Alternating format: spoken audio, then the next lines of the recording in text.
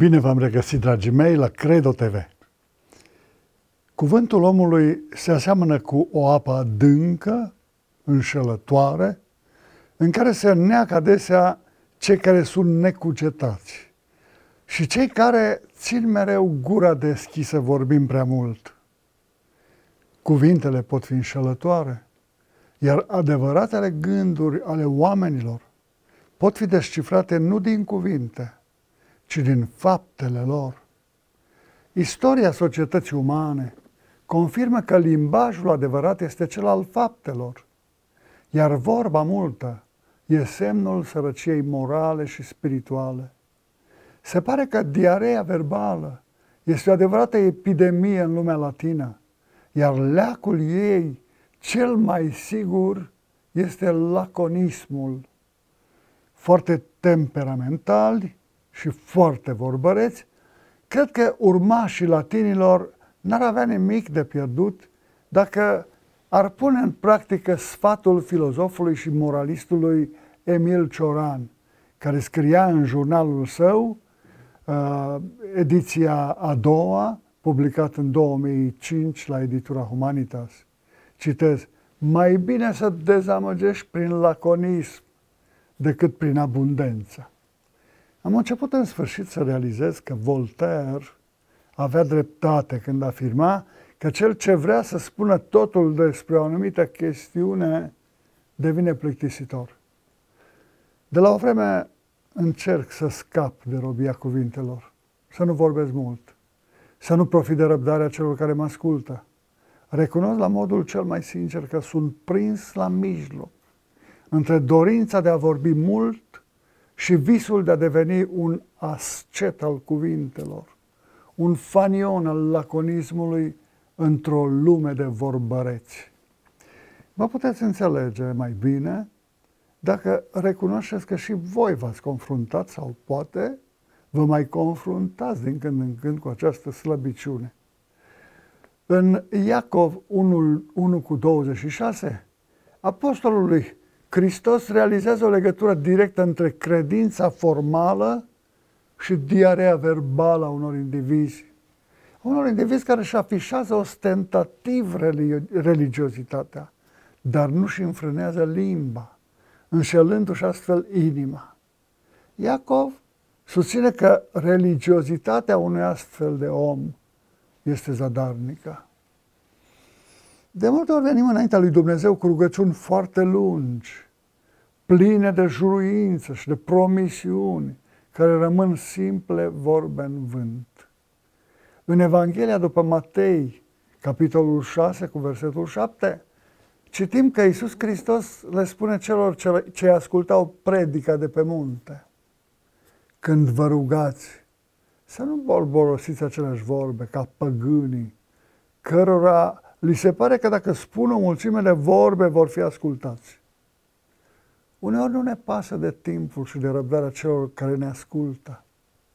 Regele spartan Agesilaos a fost întrebat de către un sol din Abdera ce răspuns să ducă concetățenilor săi.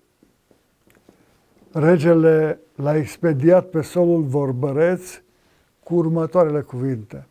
Niciun alt răspuns decât că te-am ascultat liniștit în timp ce ți-ai ținut lunga cuvântare. Transmite totuși concetățenilor tăi să-și aleagă liderii dintre cei care pot să-și țină limba în frâu. Istoria societății umane confirmă că limbajul adevărat este cel al faptelor, căci cuvintele pot fi înșelătoare, iar adevăratele gânduri ale oamenilor pot fi descifrate nu din cuvinte, ci din faptele lor. În politică, în politică vorba multe ca o baligă aruncată pe cărare pentru a îngenunchea un număr cât mai mare dintre alegători. Un om harnic, onest și responsabil nu se prezintă în fața celorlalți prin multe vorbe, ci prin realizările sale. Doi atenieni din vremea antichității candidau pentru aceeași funcție. Primul a făcut multe promisiuni alegătorilor săi într-un discurs lung. Al doilea a spus că ar dori să poată împlini cât mai multe dintre promisiunile contra candidatului său. Se pare că al doilea vorbitor era obișnuit să vorbească mai puțin și să întreacă pe ceilalți prin fapte bune. El a înțeles că este important ce spunem, dar e mai important ce facem. Limbajul de argou conține o mare varietate de cuvinte și expresii cu privire la vorba multă și la vorbăreți. Iată doar câteva exemple. Bahaus, gălăgie mare, goarnă, trâmbiță, gură, dumă, vorbă multă, care duce în eroare oamenii, bla, bla, bla, sau chilibaleală, adică vorba multă fără rost, pălăvrăgeală, cotcodăceală sau a socri, adică a cicăli pe cineva cu vorbe multe. A da prosteală, adică a, a vorbi aiurea. Are mâncărici la limbă, adică vorbește mult, nu poate ține secrete. Mangleală, a înșelat prin vorbe, aduce cu vorba.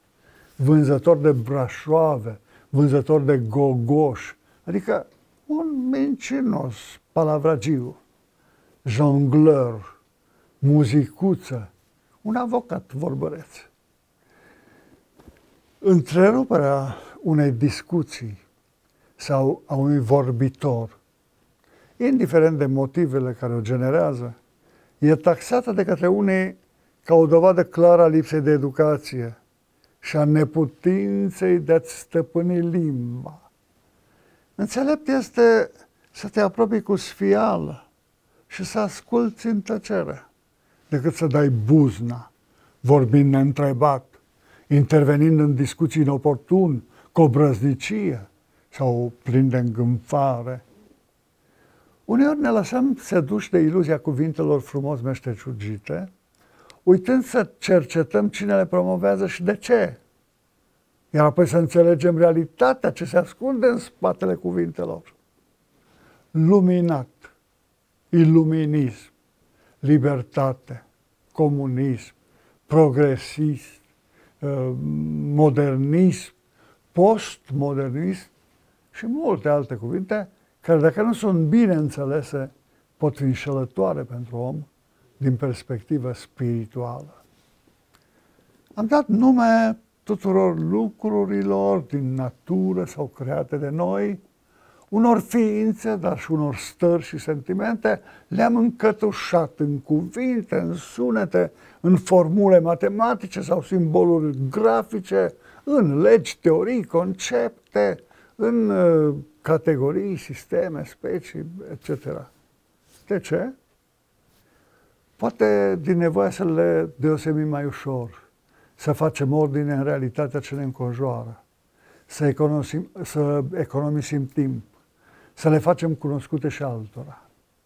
Max Tegmark, profesor la Institutul Tehnologic Massachusetts din Boston, cercetător de top la nivel mondial în domeniul fizicii, în domeniul inteligenței artificiale și cosmologiei, ne atenționează că, deși sunt utile, cuvintele sunt toate un bagaj opțional.